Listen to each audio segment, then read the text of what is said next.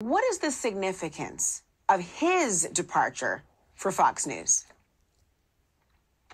Well, he's the founding father, uh, not just of Fox News, but of a media empire that's uh, made him one of the richest people on earth.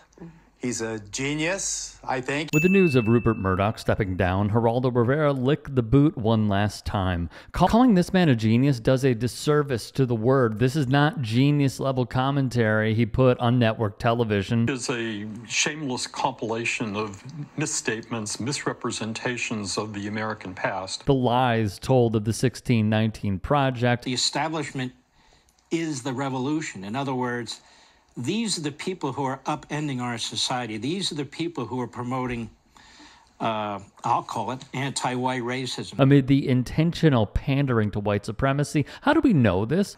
It's really, really alarming that my family watches Tucker Carlson's show once and then watches it on the replay because they feel that he is making the white nationalist talking points better than they have. And they're trying to get some tips on how to how to advance it. That's Derek Black, a former white supremacist, speaking on the network, and Tucker Carlson. White supremacy, that's the problem. This is a hoax. An unapologetic promoter of white nationalism, so much so, his show was viewed as white supremacy power hour. David Duke, former Grand Wizard of the Triple K, tweeted his support, and neo-Nazi site The Daily Stormer called Carlson their biggest ally. But it wasn't just him. We have to realize that Fox News, and I know that this is CNN, but Fox News has completely radicalized so many Americans.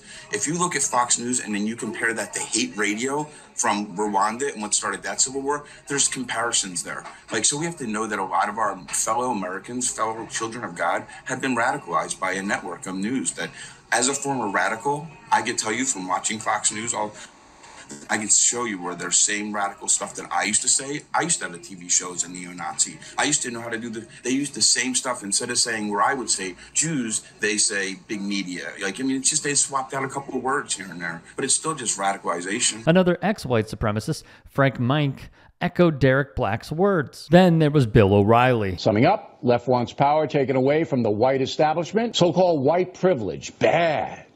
Diversity, good. Well, say you're a cocaine dealer and you kind of look like one a little bit. Where the reality is that young black men are doing far more damage than the police in Chicago. We have a case there now. Right. The police in Minneapolis. Young black American men are so often involved in crime. Fox News was good for one thing, though. I, am making it cool to be to be smart. All right. I'm making Look, it cool. To, wait, let me it's talk. not- yeah, but it's not I'm about making it cool to be a business. It's businessman. not about business. Not It's about business about- for you because you feel like it might give you better No. ratings to portray something negative within the image It of hip hop. negative. The- It is negative. It's not negative to Sure be a is. businessman. It's, not. It's not negative to take care of the economy negative to make money, Mr. Dash, if you It's- hurt children. How do you hurt children by promoting to be an entrepreneur and a CEO and to do right You're by? looking at a for, principle. By example, for example, How'd you get- you hold you it, won't let me hold it. talk. Why you You're looking at a principle. Why you don't want to let him talk? You mad? You mad? You mad? Get mad, Where'd you bro. get from? Where'd you start? Current affair, right? No, wrong. Well, You're you looking- faked a you're lot. I got at dirt on you, doggy. Still, the hits, they kept coming. Is it the year of the dragon? From Know Nothing grifter Jesse Watters, who cheated on his wife with a Fox News producer, she is 14 years his junior. When it came to sports, And it's always unwise to seek political advice from someone who gets paid $100 million a year to bounce a ball. Oh, and LeBron and Kevin, you're great players, but no one voted for you. Millions elected Trump to be their coach. So keep the political commentary to yourself, or as someone once said, shut up and dribble. it was an all out attack. From Serena Williams to Megan Rapinoe, LeBron James, and Colin Kaepernick. From trans rights to human rights.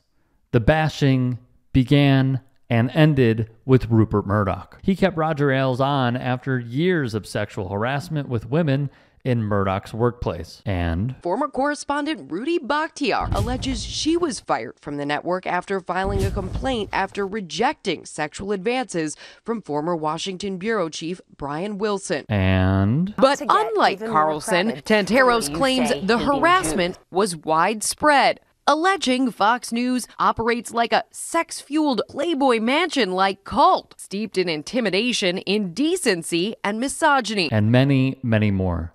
This man did everlasting damage to the planet and the human race. No one should be applauding his efforts, and he should be shunned for the rest of his days.